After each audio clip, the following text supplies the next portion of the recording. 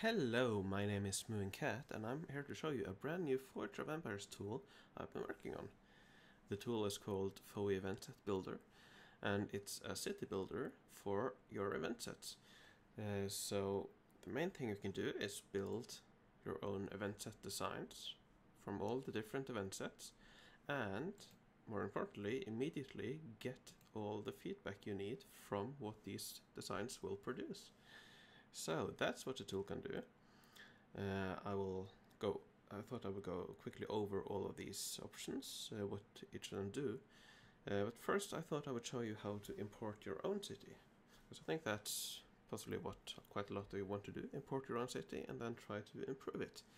So uh, here under the load import build uh, section, uh, you can click the how to import, and you'll get a quick overview on how to do it. Uh, and I thought I would just quickly show you how that's done. So, in order to do that, you need to go to your city, and you do need to have uh, FOE helper installed. Um, sadly, there's no other way around that. So if you don't have it installed, I'm afraid this won't work. Uh, but yeah, you can always use it as a standalone without importing your own city. But yeah, let's quickly go over how that's done. So, First thing you need to do is to go into the developer tools of your browser. Uh, on Windows, that's Control Shift I. Or alternatively, you can go in here, or Tools, Developer Tools. Then you need to go to the console, and then back into FOE Event Builder. Event Builder, you go here, you'll find the string, copy that, and then simply paste that into the console and hit enter. So here you'll have basically you will have your own city and how it's built and everything. So you copy this and then you go back here into the builder string, paste that and then load build. And then this will take some time. And there we go. There we have your own city in the build, in, in the tool. and here you can start experimenting. You can move around, uh, you can delete, you can select multiple and remove move multiple buildings if you want. And yeah, you do all sort of experimenting. Um, so, let's quickly go over what all of these options can do. So, to add a building, here you have some options on which set you want to add building from, which building in the set, and some settings, which age, level, and so on. So you click add, you'll get new, and then you can start placing it around. So let's say I want it there. Uh, if I click on it again, you can see all the options, uh, all the stats. So you can see that it currently has, oops, currently has one bonus. Uh, it's connected to one other uh, set building, unique set building. Uh, so it currently only gives these. So that's not good. But if you click on these others, you'll see they are fully are fully connected. So let's remo remove that building. But yeah, more importantly, let's go over the production overview. So here you can see what this design would produce. And you can choose from looking at each individual set or all of them combined. So let's look at my cherry garden set uh, first. So here we have two options, the total or per tile stats. Let's go total first. You can see that uh, they give 20 forge points, which is not a lot for the size, but yeah, 250 uh, attack bonus, which is my main goal with this set. Uh, so yeah, there we get a quick overview, but perhaps more importantly, uh, if you close that, you can see it per tile stats. And here you can see that uh, I get very little forge points, but quite a good attack stats. Over one attack per tile which is quite good and quite uh, close up there with the best attacking buildings nowadays. Um, so yeah, if you go to the Piazza, you can see that it gives more forge points and goods, but not as much attack bonus. And then if you go to the Celtic one, yeah, it's not quite up there.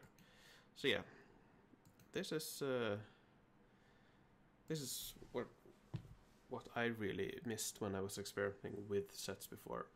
I used to use an Excel sheet or just simply drawing and I would uh, be able to create some very interesting designs but I would have to calculate all the sets manually. So that was my goal when creating this tool. So yeah. And these sets are calculated using all the in-game rules. So uh, how many unique uh, neighbors of the same set determines how many bonuses it has. So this building will have two unique buildings next to it. And same for this, this will have three, so one, two, three, and so on. Uh, so yeah, that's that's all according to the rules, uh, how it's calculate, calculated in game. So uh, that's production overview. Uh, when you're done experimenting, you can save your build. Then you'll have three options to share. You can share a string, and this string can be pasted into here, and you can load it that way. Or you can get the full link. There's a link up here. Well, not it's not this. This is the one I loaded, but yeah, you get the full link. Or you have an automatically shortened Bitly link. So yeah, you have three options on how to share. And lastly, down here, you have some options. So you can decide if you want to hide or show the initials. Uh, this is, yeah, up to you. And you can choose if you want to hide the city outline. Uh, it's yeah, quite difficult to see sometimes. Uh, perhaps you could make that thicker. But yeah. And then, uh, down below here, you have two options that I really really like. So the first one is show buildings that require roads. So all of these highlighted buildings need roads. Um, so here you can quickly see that these four buildings, they will not be able to be connected by roads. If we go back here, these are not connected. But yeah, importantly, they still count as a bonus for the other other buildings. And then I also have another option to show how many connections a building has. So here you can see that all of the Sakuras have full connections, all the bonuses, uh, but that all the other uh, buildings in my uh, Cherry Garden set, uh, all the other buildings are missing connections. So all of the yellow ones are missing one, uh, these are missing two and three and so on. So I find this really helpful when experimenting with different sets to see how, uh, yeah, see how many bonuses each of these sets have. So in the tool there's a guide, a quick guide, uh, which gives you all the information you need on how to use things. Um, and yeah, I, I'm really surprised by how, in my opinion, how well this turned out. It was just a hobby project I wanted to work on after my term ended. I had quite a lot of free time, so I thought, why not experiment with something that I personally would love to have? Uh, so yeah, I just started experimenting, and in the end, I'm really pleased with the result. Uh, so yeah, here we have some examples, just some quick examples I could show you. Uh, so one example is this uh, Celtic set. Uh, perhaps a bit late to show it now, but uh, perhaps this fall uh, it'll appear again, so perhaps you'll aim for something like this. Here if you go showing the number of connections, you can see that all of these uh, have full connections except for these in the middle. And of course, fairy rings re require a road connection, so that will ob ob obviously not be connected. Um, this is not detected manually by the tool, so you have to set it yourself. So if I set that to connected, it will uh, be calculated in the production overview. So yeah, important to set that on your own. Uh, no way I could do that on automatically. Well, I could, but yeah. And yeah. So yeah, that's that's a quick overview of the tool. Um, I'm I will continue to work on it whenever I have some free time or whenever I want to, really. Uh, as I said, it's just a hobby project for me. It's something I've done on my spare time. I've had quite a lot of free time, so I wanted to spend it on something that I quite enjoy. I really like developing new things and This is something that I've found very, very fun to work on. Uh, so I do hope you have some uh, fun using it, so that it might prove helpful, and that you might experience, uh, might find some new, new setups that uh, you never thought about before. Uh, I guess I can leave you with one uh, thing that uh, someone someone made. I'm not I can sadly not remember who. But someone made a quite interesting winter village setup, which is something you don't see nowadays, at least in my on my world, which is quite new.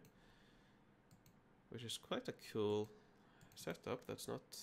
Oh, that's wrong building. Uh, tinker. There we go. There's quite a cool setup. A three by uh, a six by three setup, which gives you. Uh, which gives you, I believe, 15 attack damage. Uh, which is, you know, it's not the best, but it is quite nice. And then two of these. There we go, I think that's it. Yep, as you can see, all the uh, helm books, all the attacking buildings, they are fully connected. if you go to the production overview, that gives 15 attack damage, not a lot more. Uh, and if we look at per tile stats, that's 0.83 attack per tile, which is, you know, it's not the best, but it's it's good. And I thought this was a really cool design that someone showed, and I did make some designs myself that's based on this that was even better. So from now on, when I see some uh, some of these in the antique dealer, I'll yeah, I'll consider buying it if if they're not too expensive, which they often aren't. So yeah, that's about it. Um, if you have any, any questions, I will be answering in the comments. If there's any issues, uh, please contact me on GitHub. Uh, if you have any suggestions, I'm, I would love to hear. Um, and as I've said, this is a hobby project that I would love to continue working on if there's anything interesting. Um, I'll have some free time in the future. Uh, so, yeah, if you have any suggestions, please feel free to come with them. And that's about it. Thank you very much for watching, and I do hope you enjoyed the tool. So, Thank you.